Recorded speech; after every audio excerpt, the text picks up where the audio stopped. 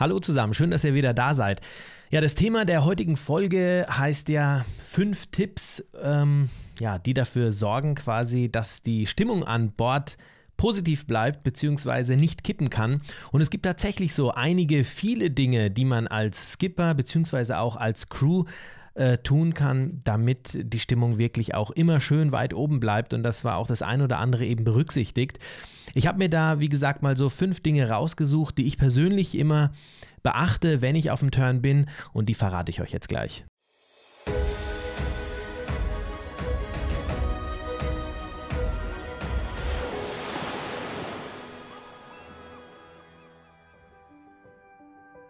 Ja, das ist natürlich zum größten Teil alles Psychologie logischerweise. Ich meine, äh, gute Laune hat man ja normalerweise auf einem Turn. Klar, sonst würde man so einen Urlaub nicht machen und im Endeffekt ist man ja in einem paradiesischen Umfeld, ähm, Strand, Meer, Sonne, man segelt, man macht genau das, was man, was man eben gerne macht. Aber es ist eben auch so, dass man auf so einem Turn natürlich auch auf in Anführungsstrichen engstem Raum ist, gemeinsam und äh, es ist nicht selten vorgekommen, dass nach so einem Turn auch schon einige Freundschaften leider Gottes kaputt gegangen sind. Ähm, wenn nicht sogar irgendwelche Ehen, also auch schon passiert, ähm, weil die Konstellation auf einem Schiff dann eben doch etwas anders ist, weil man mit mehreren Personen eben auf engstem Raum ist, wie ich gerade schon gesagt habe, und dann doch anders miteinander äh, umgehen muss, gezwungenermaßen, als man es vielleicht sonst im Alltag macht, wenn man sich aus dem Weg gehen kann, was man dann vielleicht auch gar nicht so richtig realisiert. Und auf einem Turn ist es dann eben doch was anderes. Ich kann allerdings auch schon dazu sagen, dass es sehr selten vorkommt. Und es liegt zum größten Teil daran, dass die meisten Turns mal eine Woche dauern und bis man da dazu kommt, dass man sich irgendwie nicht mehr riechen kann, ist der Turn eigentlich schon rum. Gerade am Anfang hat man ja ja, ist man ja sehr euphorisch und man freut sich auf das, was man hier jetzt gerade auf dem Turn dann erleben darf. Und da haben schlechte Laune selten viel Platz. Aber wenn der Turn dann vielleicht doch mal so ein bisschen länger dauert oder oft leider Gottes auch gerade bei Crews, die sich schon lange kennen, aber zum Beispiel noch nie segeln waren, ist es kritischer als bei, äh, als bei einer bunt zusammengewürfelten Crew, wo man sich nicht kennt. Weil bis man sich da mal kennenlernt und bis man da vielleicht mal die negativen Seiten des einen oder anderen ähm, erkennt, ist der Turn eben meistens schon rum. Aber wie gesagt, es gibt so einige Dinge, auf die man achten kann. Ich bin früher auch sehr viele Turns als Skipper gefahren und hatte auch Crews dabei, die sich teilweise schon sehr lange kannten. Ich hatte aber auch Crews dabei, die sich noch gar nicht kannten. Und da gibt es so ein paar Punkte, die ich mir angeeignet habe mit der Zeit und die möchte ich euch jetzt äh, einfach mal verraten. Wie gesagt, da gibt es mit Sicherheit noch viel mehr, aber einige Punkte eben von mir. Die eine Sache ist, die kann man auf vieles anwenden und die möchte ich auch ganz weit oben anstellen. Das ist tatsächlich die Geschichte, dass man bei vielen Entscheidungen wirklich auch die gesamte Crew mit einbeziehen sollte. Und es fängt schon ganz vorne an, ähm, Negativbeispiel, ich bin jetzt zum Beispiel der Skipper, ich habe den Turn organisiert, die Crew kommt zusammen und ich sage im Endeffekt schon ganz genau, wo es lang geht, dass das unsere Route ist und dass wir hier dies erleben werden, dort, je, dort jenes und dort das und das ist äh, die Turnplanung. Ja, das ist Gesetz quasi. Kann sein, dass es jeder toll findet. Ich bin aber der Meinung, dass allein die Tatsache, dass diese Entscheidung komplett nur von einem kommt, für Unmut sorgen kann bei dem einen oder anderen. Geschickter ist es vielleicht, das Revier erstmal darzustellen, zu erzählen, was man hier und dort erleben kann und dann vielleicht zu sagen, okay, wie wollen wir unseren Turn denn gestalten? Ich habe hier mal einen Vorschlag ausgearbeitet und dann kann man ja gemeinsam im Endeffekt entscheiden, ob das denn passt oder nicht. Meistens wird es dann vielleicht auch genau auf diese, auf diese Route hinauslaufen, aber ich sollte auf jeden Fall jedem Einzelnen in der Crew ähm, das Gefühl geben und auch die Möglichkeit geben, hier mitzuentscheiden. Und genauso ist es auch zum Beispiel bei der Proviantierung ich bin kein Freund davon, dass äh, einer oder zwei von der Crew losziehen, ohne sich mit den anderen abgesprochen äh, zu, zu, haben und dann Mods einkaufen. Es ist schon oft vorgekommen, dass dann Dinge gekauft werden, die vielleicht von dem Rest gar nicht so gegessen werden, dass man nur auf seine eigenen Bedürfnisse achtet, dass vielleicht, ja, bestes Beispiel, zu viel Bier gekauft wird, weil vielleicht der ein oder andere aus der Crew vielleicht gar keinen Alkohol trinkt oder nur sehr wenig trinkt und der fühlt sich dann vielleicht ein bisschen benachteiligt.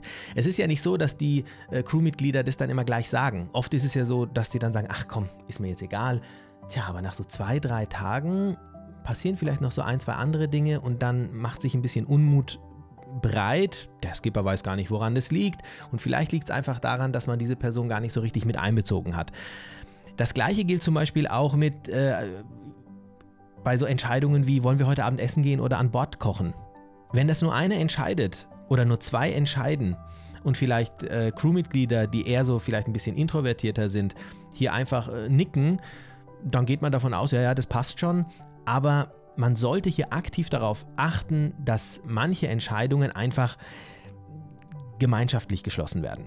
Also das meiner Meinung nach wirklich einer der allerwichtigsten Punkte bei einem Turn, auch wenn man Skipper ist, auch wenn man der Organisator ist, bei vielen Entscheidungen einfach wirklich darauf achten, dass die Crew mit einbezogen wird, einfach mal feinfühlig sein und schauen, okay, wie entscheiden wir uns gemeinschaftlich und dann ist es auch in Ordnung, wenn man weiß, dass der eine da vielleicht dagegen ist und wenn der Rest der Crew dafür ist, dann wird der auch mit einem viel besseren Gefühl dann vielleicht sagen, ja, okay, komm, in Gottes Namen, dann gehen wir halt heute essen. Ich hätte zwar gerne an Bord gegessen, aber auch in Ordnung. Da kann man ja vielleicht beim nächsten Mal eher auf ihn eingehen. Zweiter Punkt, den ich äh, sehr wichtig finde, ist die Kautionsversicherung. Fragt man sich jetzt vielleicht, gut, was hat jetzt eine Kautionsversicherung mit der Stimmung an Bord zu tun? Erstmal gar nichts, ganz klar, weil ob ich jetzt eine Kautionsversicherung abgeschlossen habe oder nicht, sollte meiner Stimmung an Bord ähm, ja, eigentlich, also soll, sollte keinen Einfluss auf meine Stimmung haben. Nicht falsch verstehen, es soll jetzt nicht darum gehen, dass wenn ich eine Kautionsversicherung abgeschlossen habe, dass ich dann an Bord äh, die wildesten Partys feiern kann und alles kaputt machen kann, weil ja, wird ja sowieso alles wieder bezahlt. Nein, das ist es nicht. Mir geht es um was äh, ganz anderes. Beispiel, ich bin auf dem Turn und es ist was kaputt gegangen. Das ist immer ein bisschen blöd. Wer hat es kaputt gemacht? Beziehungsweise selbst wenn man weiß, dass es der eine oder andere kaputt gemacht hat, ist es ein ungutes Gefühl, wenn er das dann alleine aus seiner Tasche zahlen muss. Beispielsweise ein Schaden, 200, 300 Euro vielleicht, oder er hat vielleicht das Fernglas äh, fallen lassen, oder er hat es irgendwo hingehängt und dann ist es ins Wasser gefallen. Ähm, oder der, der gerade am Steuer war, hat das Bugstrahlruder so lange ähm, bedient, dass es dann durchgebrannt ist. Also es gibt also einige Dinge, die passieren können, wo dann die Kaution einbehalten wird oder zumindest ein Teil der Kaution einbehalten wird. Und wenn ich jetzt in der Crew allein schon vor der Entscheidung stehe, lasse ich das jetzt das Crewmitglied allein zahlen, wollen wir uns das alle teilen, dann habe ich schon ein, ja, das ist ein ungutes Gefühl. Und ich bin der Meinung, dass wenn man als Crew aufs Schiff geht, dass man dann auch gemeinschaftlich für manche Dinge verantwortlich ist. Also klar, zu, um das Schiff zu führen, ist in erster Linie natürlich der Skipper verantwortlich, aber ich finde, es sind einfach auch, es, man ist gemeinschaftlich als Crew auf diesem Schiff und so eine Kautionsversicherung, die kostet nicht die Welt und die kann man auch als Crew abschließen. Das heißt, dass jeder, äh, also abschließen kann es im Endeffekt der Skipper, aber die Crew kann mitbezahlen. Und so habe ich es früher auch immer gemacht, wenn wir mal unterwegs sind oder auch heute noch teilweise, dass dann einfach die Crew die, die, also den, den Preis für die Kautionsversicherung zusammenlegt. Wir schließen diese Kautionsversicherung ab und sollte es dann tatsächlich zu einem Schaden kommen, dann ist es da, dann, dann gibt es einfach gar keine Diskussion mehr darüber, dann ist die ganze Geschichte soweit abgedeckt und ähm, ja, meiner Meinung nach eben auch ein ganz wichtiger Punkt, der ähm, dafür sorgt, dass ein Unmut erst gar nicht aufkommen kann. Der dritte Punkt, den ich auch gelernt habe, wirklich richtig umzusetzen, ist die Bedienung der Bordkasse. Es ist ja so, dass meistens eben eine Bordkasse an Bord ist, aus dieser dann eben alles Gemeinschaftliche bezahlt wird. Und was immer unschön ist, ist, wenn man auf diesem Turn während des Urlaubs überhaupt über das Thema Geld Mods reden muss und rechnen muss und ah, wer hat was ausgelegt, wer hat jenes gemacht, ah nee, ich habe hier schon mal was ausgelegt, nee, letztes Mal im Restaurant, ach nein, das waren ja in Kuna, können wir das bitte mal wieder umrechnen. Um das ganz einfach zu gestalten, sollte man die Bordkasse einfach von vornherein prall füllen. Zumindest immer gefüllt halten, dass auch immer aus der Bordkasse gezahlt werden kann. Weil wenn es dann irgendwann mal so ist, dass die Bordkasse gerade mal leer ist und der eine hat noch nichts bezahlt oder ach ja, ich muss erstmal wieder zu einem Geldautomaten oder kann ich den Rest dann zahlen, wenn ich wieder zurück in Deutschland bin, ich überweise es euch sofort. Das ist dann so wirr, dass dann auch der Kassenwart, ist ja meistens so, dass einer in der Crew immer der Kassenwart ist, der ist dann schon total genervt, weil das Geld reicht in der Kasse nicht. Ah, der eine hat schon mal was zugeschossen, der nächste zahlt es erst, wenn wir wieder zurück sind. Kümmert euch darum, dass ihr von Anfang an klarstellt, okay, wir gehen davon aus, dass wir bestimmte Ausgaben, also, in also Ausgaben in Höhe von XY haben. Am Anfang, liebe Leute, jeder mal 200 Euro in die Kasse. Wenn die ersten Kosten ähm, aufgebraucht sind, sollte der Kassenwart sich melden und sagen, Jungs, Mädels, wie auch immer, wir haben nur noch so und so viel in der Kasse, wir schießen bitte mal nach. Und dann gibt es diese, äh, diese Diskussion auch nie. Und das Thema ist somit gegessen. Am Ende des Turns wird dann der Rest, der in der Kasse ist, einfach aufgeteilt und das ist dann die einzige Kalkulation, die einzige Rechnung, die der Kassenwart machen muss. Und somit ähm, ist diese Diskussion über Geld und Ausgaben etc. Ähm, niemals gegeben. Der vierte Punkt ist etwas, was äh, mit dem ersten Punkt auch so ein bisschen zusammenhängt und zwar ist es die, hm, die Fähigkeit des Skippers, eine gewisse Empathie an den Tag zu legen. Und äh, das ist, ja, klar werden jetzt einige sagen, das ist das Wichtigste überhaupt. Klar, äh, es ist einfach sehr wichtig, dass der Skipper nicht nur derjenige ist, der verantwortlich dafür ist, dass das Schiff von A nach B kommt und ähm, das Schiff vielleicht auch steuert, sondern der Skipper ist schon in den Augen der Crew eine besondere Person. Und das ist ja auch der, der wenn es hart auf hart kommt, auch die Entscheidungen fällen muss, der auch im Endeffekt der Verantwortliche ist, wenn wirklich etwas passiert.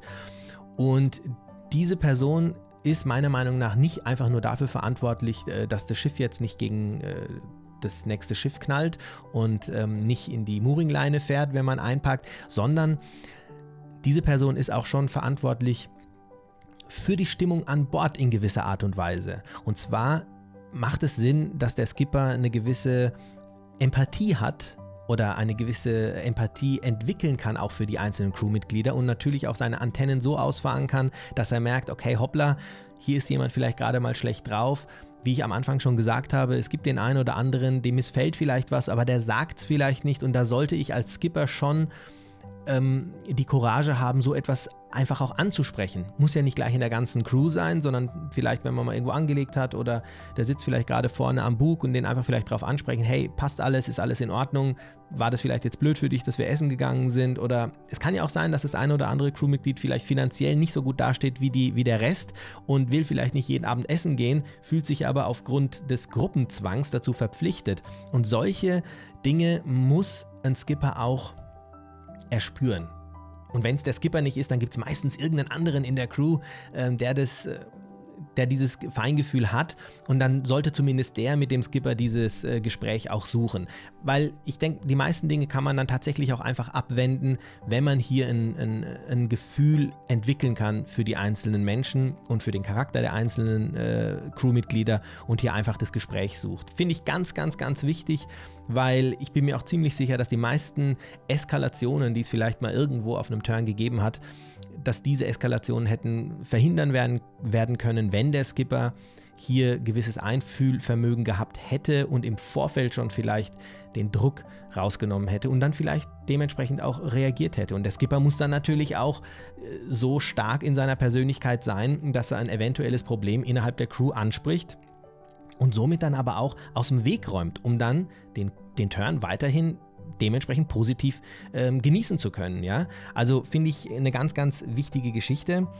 Ähm, die letzte, der letzte Punkt, den ich ansprechen will, hat was mit den Vortreffen zu tun, mit den Crew-Treffen, mit den äh, gemeinsamen mit dem gemeinsamen Austausch, bevor der Turn überhaupt stattfindet.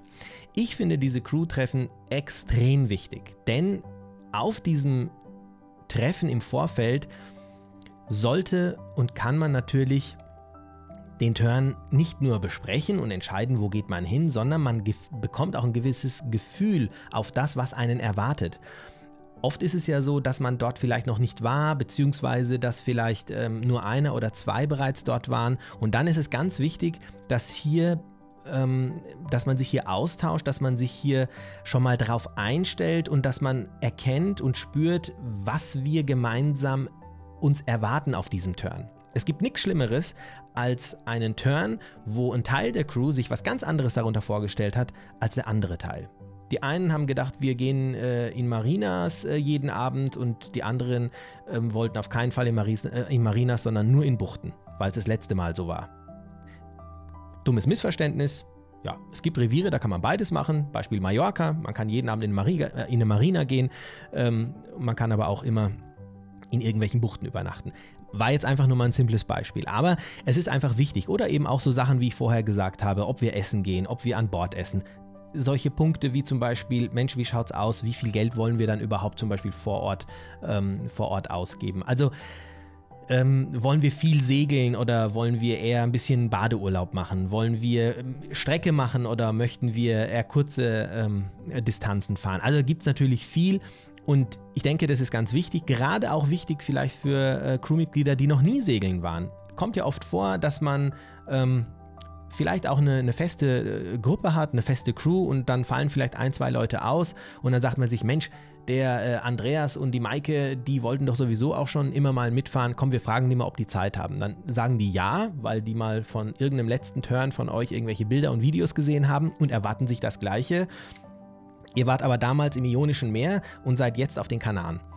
Ähm, und die wissen vielleicht gar nicht, dass es dort ein bisschen anders ist als da, wo ihr damals wart. Und dann ist es erst recht wichtig, dass man hier ein Crew-Treffen macht, dass man die Dinge einfach mal bespricht, dass man einfach mal den Menschen schon mal so eine schöne Vision davon gibt, was sie erwartet.